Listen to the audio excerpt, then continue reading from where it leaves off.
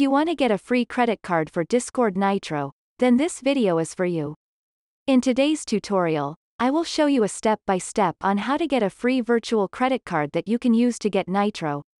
All you need is your computer and an internet connection. So watch this video until the end to, to learn how to get a free credit card and start enjoying all the benefits Discord Nitro has to offer. The first step is to open your preferred web browser, and search for, Skrill.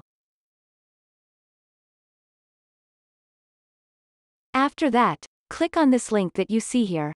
It says, Virtual Wallet for Money Transfers and Online Payments. I will leave the exact link in the description. And when you are on the site, click on the purple button in the top right corner that says, Register.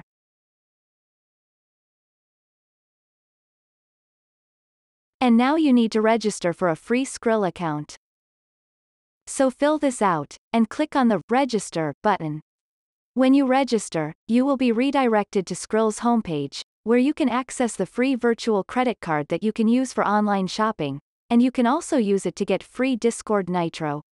So that's it for this video.